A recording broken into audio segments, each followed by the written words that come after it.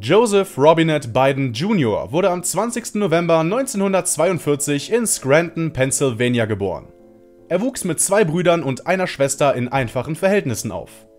Als Biden zehn Jahre alt war, zog die Familie nach Delaware um.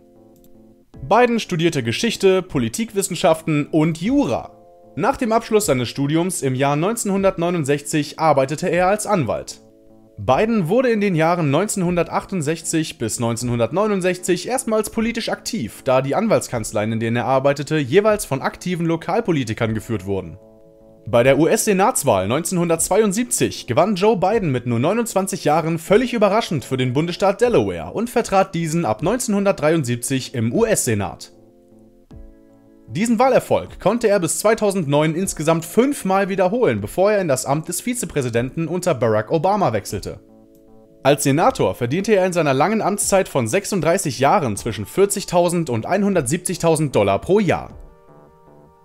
Als ehemaliger Senator von Delaware steht Biden allerdings auch in der Kritik. Der US-Bundesstaat ist eine der meistgenutzten Steueroasen der Welt. Der Ausbau zu eben dieser geschah während der Regierungszeit von Joe Biden. Versuche dies zu verhindern unternahm die Regierung allerdings nicht. Nach zwei gescheiterten Versuchen, Präsident zu werden, nämlich im Jahr 1987 und 2007, zog Biden als Vizepräsident unter Barack Obama ins Weiße Haus ein. Dort verdiente er als Vizepräsident bis 2016 pro Jahr 230.000 US-Dollar.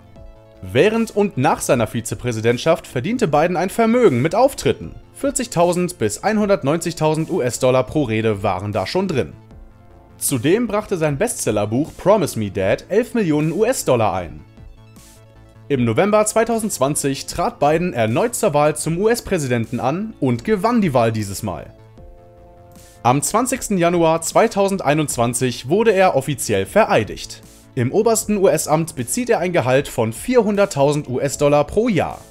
Das aktuelle Vermögen von Joe Biden wird auf rund 9 Millionen Dollar geschätzt. Wenn dir das Video gefallen hat, dann lass uns einen Daumen nach oben da. Abonnier auch gerne unseren Kanal, um keines unserer Videos mehr zu verpassen. Ansonsten bedanken wir uns fürs Zuschauen und bis zum nächsten Mal.